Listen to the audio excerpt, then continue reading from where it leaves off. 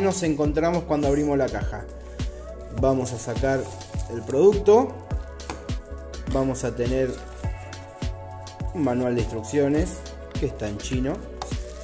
Vamos a tener el cable que le va a dar corriente, digamos, el cable de alimentación y bueno, el humidificador, ¿sí?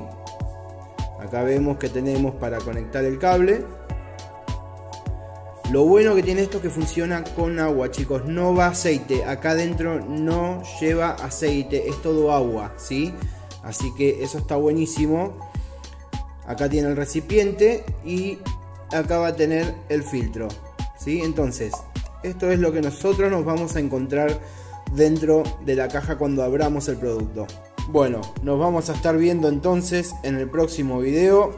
Espero que tengan una buena tarde, que tengan una buena semana y nos vemos. Adiós.